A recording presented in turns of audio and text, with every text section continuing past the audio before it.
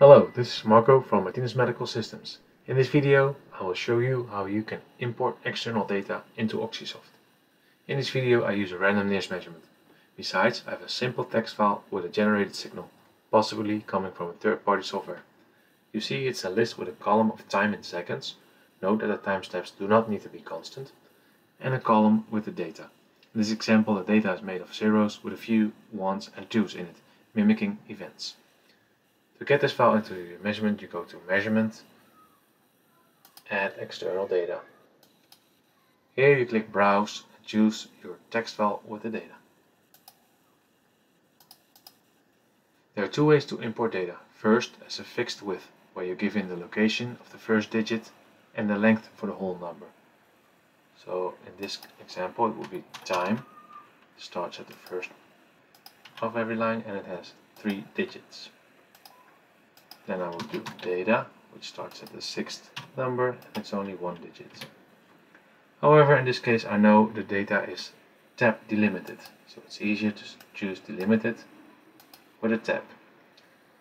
So the first column is time, and it starts at 1, and the other one is data, starting at column 2. In my example, the first line is, is a header, so the data actually starts at line 2.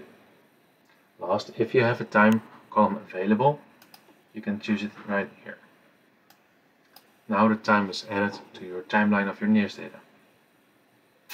And we click OK. You can add the new data to a current or a new graph with or without any NIRS data in it. Here we see an empty graph can now add a trace. And here on the type source we choose the import of the new data file. And we want to import the column with data. Click OK.